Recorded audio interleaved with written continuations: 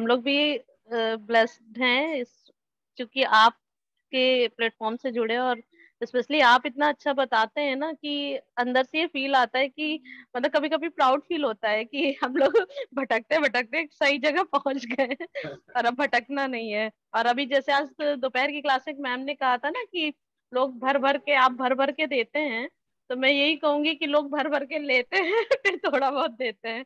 यहाँ उल्टा है, सर। आप वास्तव में बहुत अच्छा पढ़ा रहे हैं और it really appreciate you sir. Thank you thank you sir. Thank you so much मैंने अपनी ज़िंदगी में बहुत कुछ देखे हैं वास्तुशास्त्र ही मैंने भी जिनसे किया है।